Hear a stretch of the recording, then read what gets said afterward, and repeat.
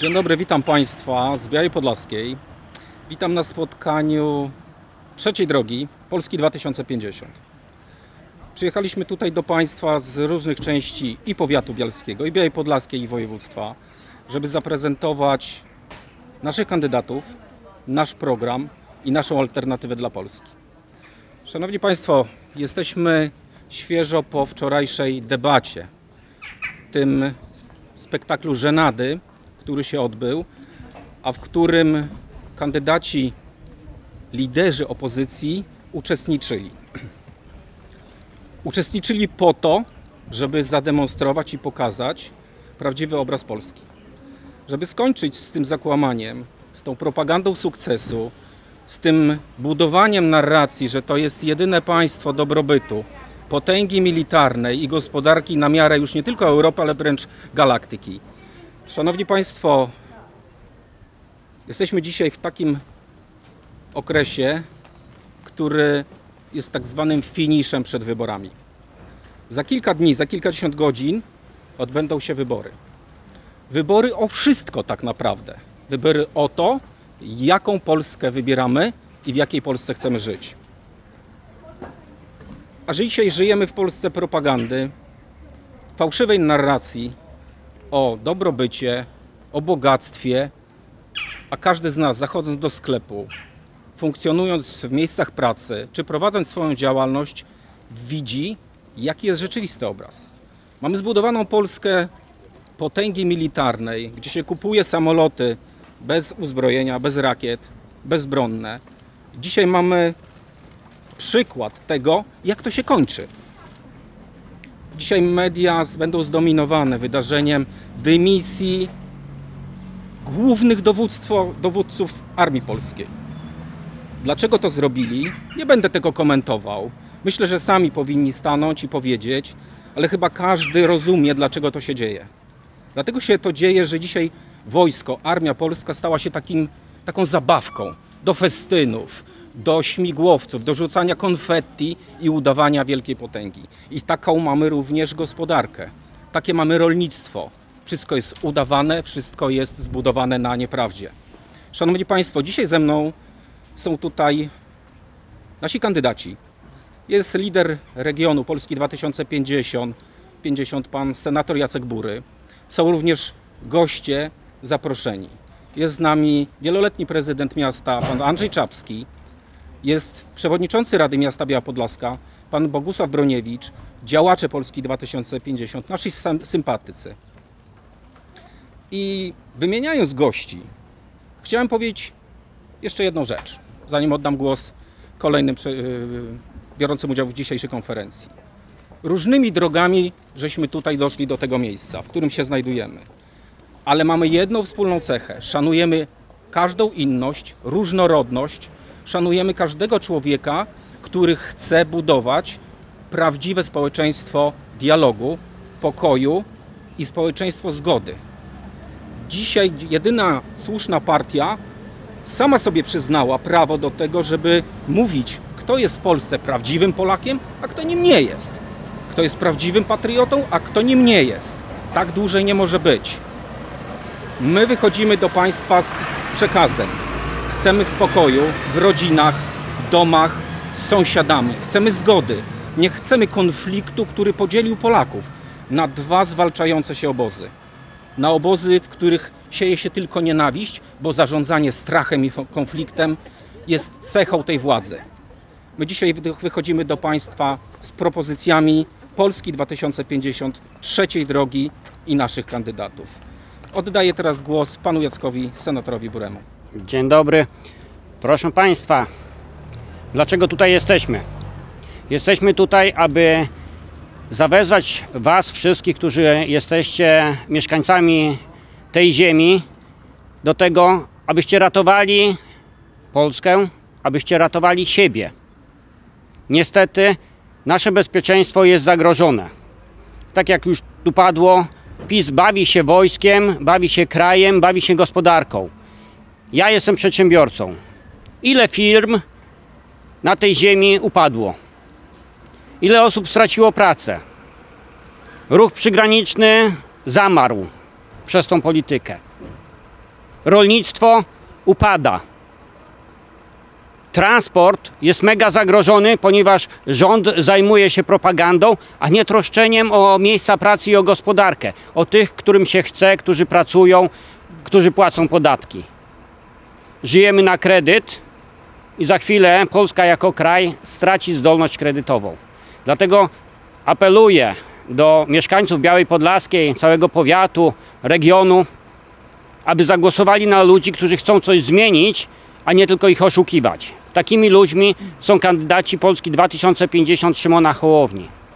Są tutaj z nami i za chwilę będą mówić o właśnie swoich propozycjach, naszych wspólnych propozycjach i na tych ludzi warto oddać głos. Ja jako senator Rzeczpospolitej Polskiej zachęcam do tego.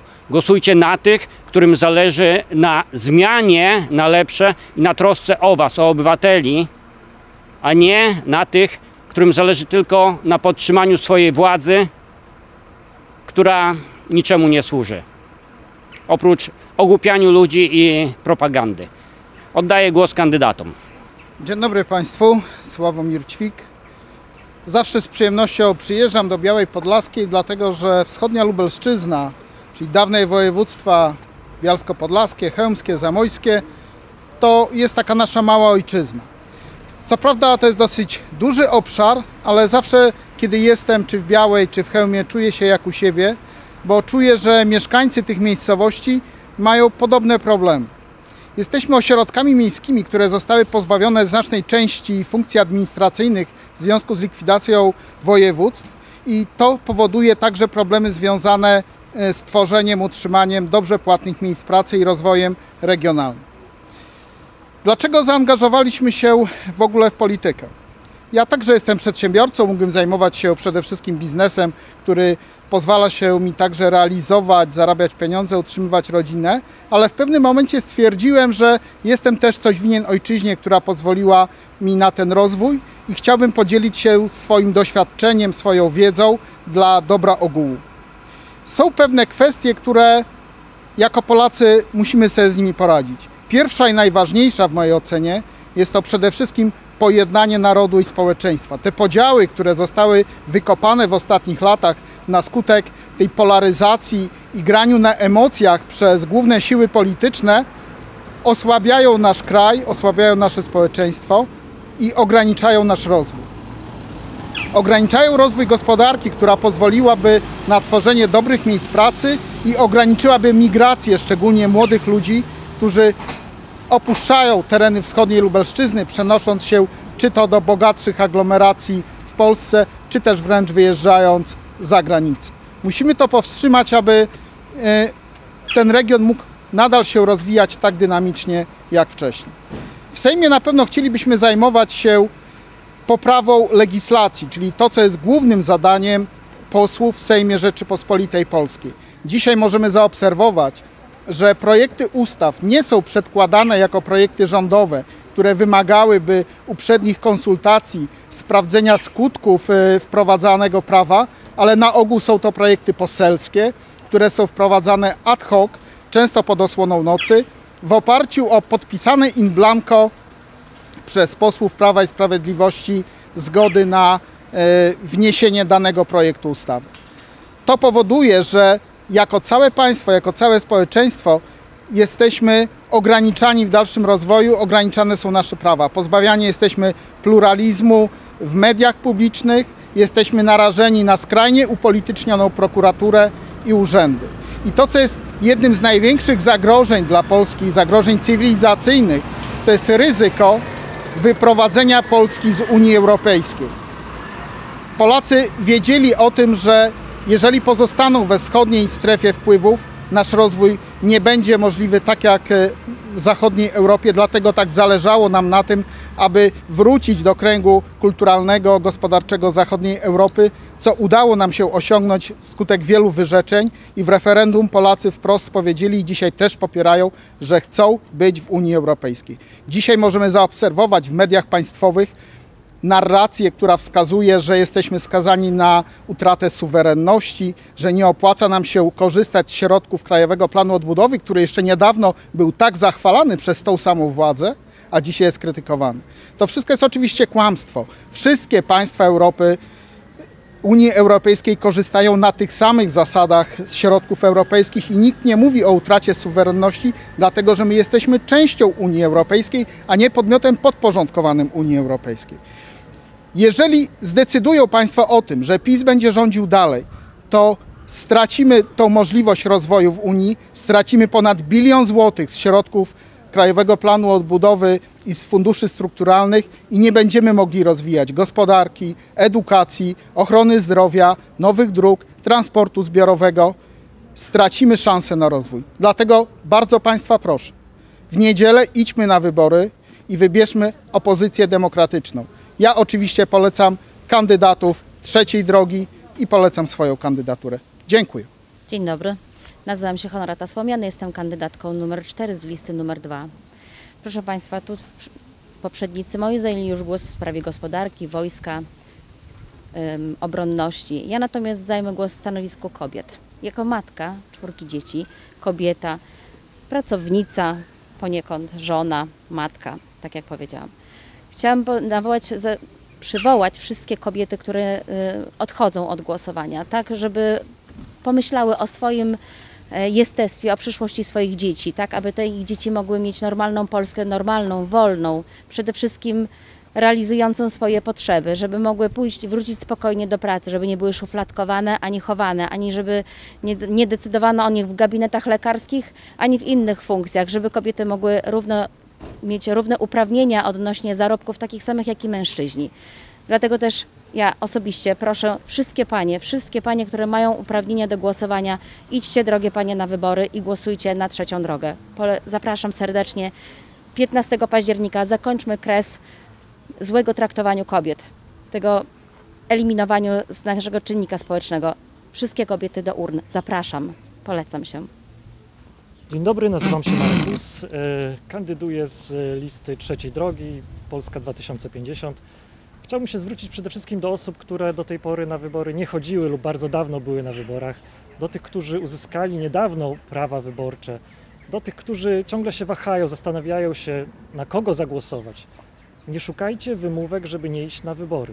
Wachlarz partii demokratycznych jest bardzo duży. My oczywiście zachęcamy do głosowania na kandydatów trzeciej drogi, ponieważ trzecia droga to jest gwarancja tego, że będzie gospodarność, a nie marnotrawienie naszych środków publicznych. To jest gwarancja tego, że zostaną odblokowane środki z Krajowego Planu Odbudowy i strumień pieniędzy popłynie również na naszą ścianę wschodnią, która jest tak zaniedbana i ma takie problemy w związku z tym, że y, za naszą wschodnią granicą wybuchła wojna, że musimy to zmienić.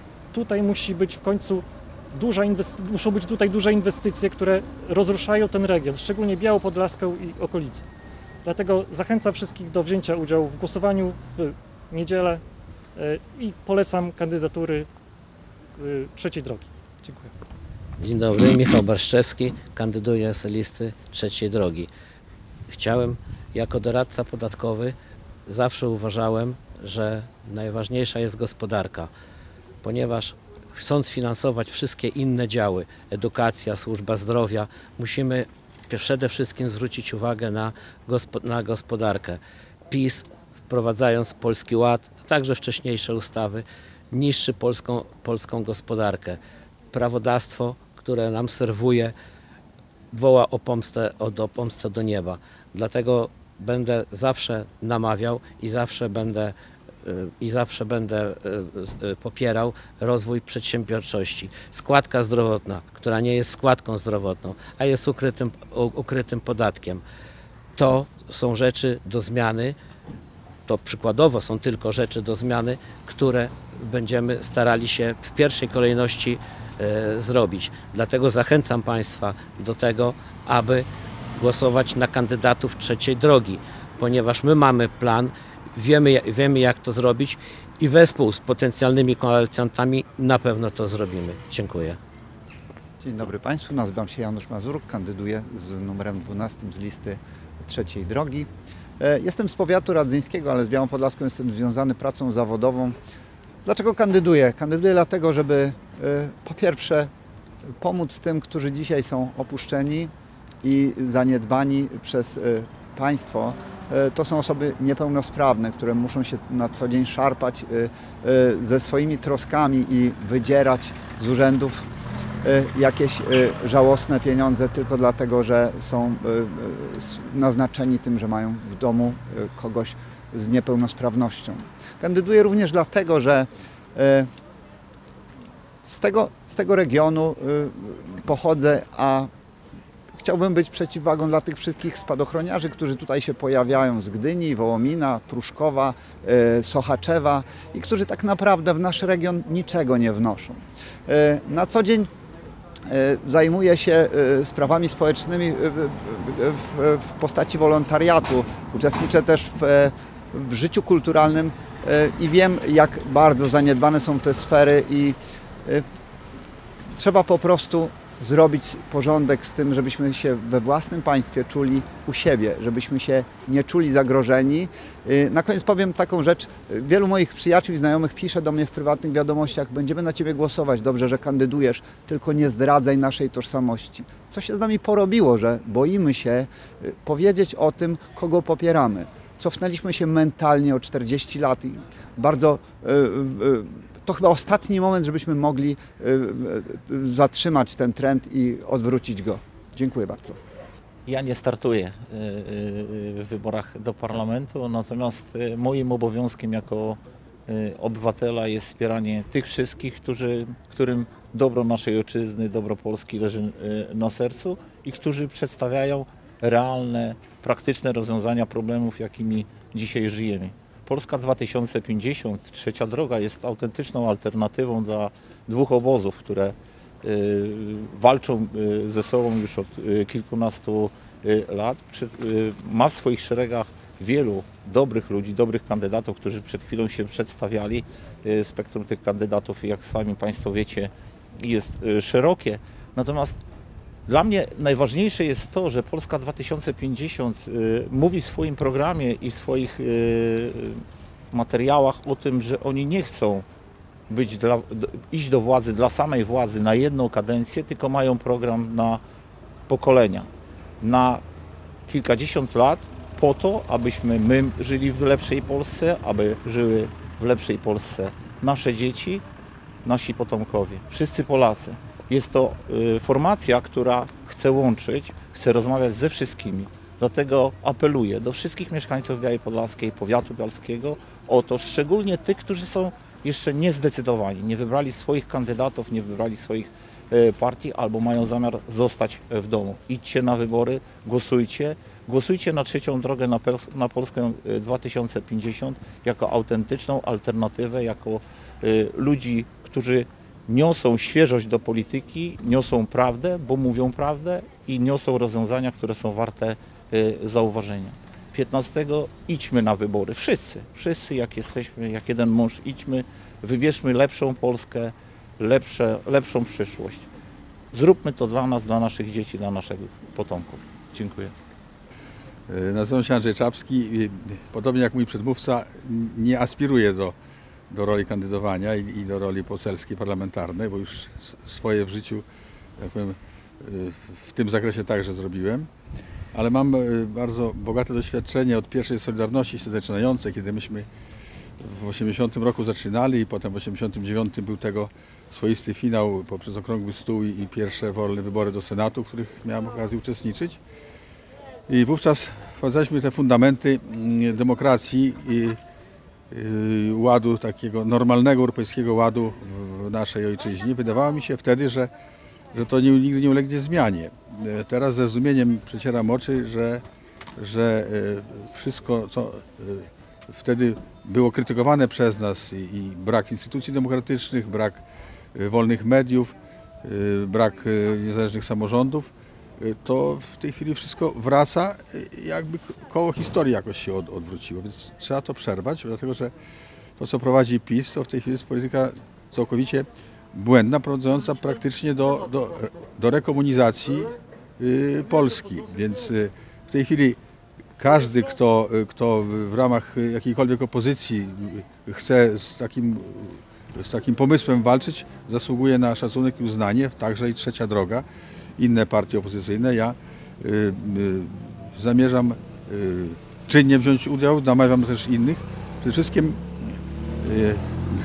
powiem tak, uczestnikiem byłem ostatnio spotkania koleżeńskiego w Gdańsku i tam w Stoczni Gdańskiej jest Muzeum Solidarności i, i stanęliśmy przy plakacie nie śpi, bo cię przegłosują. Myśmy tak zrobili, że e, idźcie na wybory i myśmy tak zrobili, że datę 89 zasłoniliśmy i rozpowszechniam taką informację, że nie śpi, bo cię przegłosują, idź na wybory e, bez daty, czyli dzisiaj idź. Na te bardzo ważne wybory, równie ważne jak te w 89 roku, e, dlatego że czas zatrzymać powrót neokomunizmu, bo, bo do tego zmierza y, prowadzona polityka y, PiSu, y, także y, błędna polityka zagraniczna, błędna polityka gospodarcza i wszystko, co, co najgorsze, y, co może y, na y, pokolenia zaszkodzić naszej ojczyźnie. Więc czas to zmienić, czas to zatrzymać. Te wybory są bardzo ważne. Przekonaniem jestem, że najważniejsze od 1989 roku. Dziękujemy bardzo za dzisiejsze spotkanie. Czas wyborów nadchodzi. Czas prawdziwego wyboru w dniu 15 października, już za chwilę. Wyboru nie na partię taką czy taką, tylko wybranie drogi, jaką pójdzie Polska. Czy będzie to Polska zgody, Polska dialogu, Polska tych terenów, które zawsze się szczyciły gościnnością, sercem, czy Polska nienawiści, szczucia, zakłamania i propagandy? Czy to będzie Polska gospodarki, rozwoju i dowartościowania ludzi pracy bez względu gdzie pracują? Czy to będzie Polska szanowania się w rodzinach, wśród sąsiadów, czy Polska obecnego zakłamywania prawdy, drożyzny i dzielenia społeczeństwa, ludzi, nas wszystkich. Hasłem naszym jest dość kłótni. I z tym apelem idziemy do Państwa. Dość kłótni, mądrego wyboru, bo Polacy są mądrzy. Zachęcam wszystkich do tego, aby wzięli udział w wyborach już za kilka dni, za kilkadziesiąt godzin. Głosujcie, Szanowni Państwo, na trzecią drogę, na kandydatów Polski 2050 Szymona Kołowni. Dziękuję bardzo.